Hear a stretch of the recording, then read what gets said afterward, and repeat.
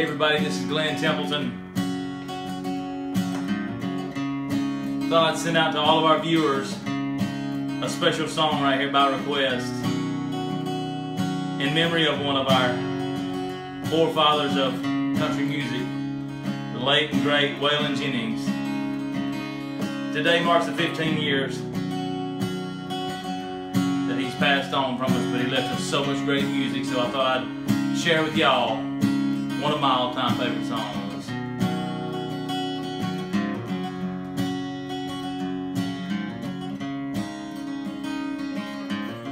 She was a flower for the taking. Her beauty cut just like a knife.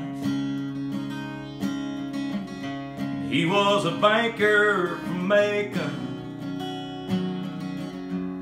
Swore he'd love her all his life Bought her mansion on oh, a mountain Farm, garden, and a lot of land. But paradise became her prison That Georgia banker was a jealous man. And every time he talked about her You could see the fire in his eyes. He'd say, I would walk through hell on Sunday.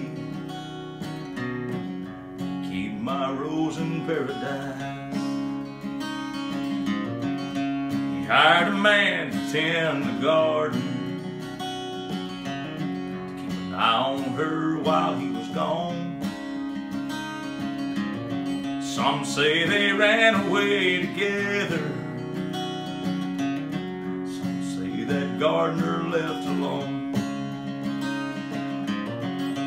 Now the banker is an old man. His mansion's crumbling down. He Sits all day and stares at the garden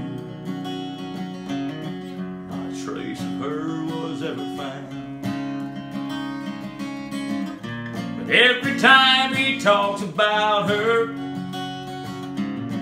you can see the fire in his eyes. He says, I would walk hell on Sunday to keep my rose in paradise. There's a rose out in the garden. Cuts just like a knife. Some say it even rose in the winter time and rose in the dead of the night.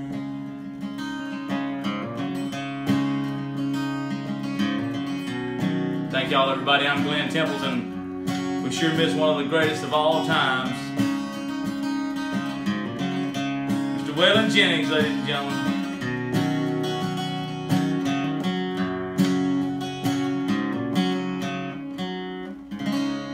God bless country music.